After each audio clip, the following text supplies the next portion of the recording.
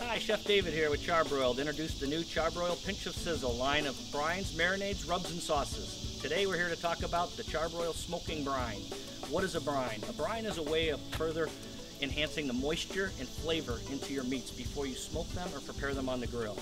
Charbroil's version is a uh, flavor profile of garlic, onion, rosemary, and a hint of chilies. Adds an excellent flavor as well as additional moisture to your meats during the cooking process.